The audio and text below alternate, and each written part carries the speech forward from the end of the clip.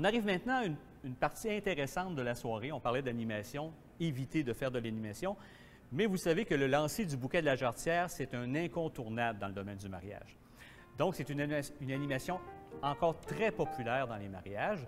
Il est important de faire cette animation pas trop tard en soirée. Je vous suggère environ une heure environ après le début de votre danse d'ouverture pour permettre au plus grand nombre de personnes, de célibataires, d'y participer.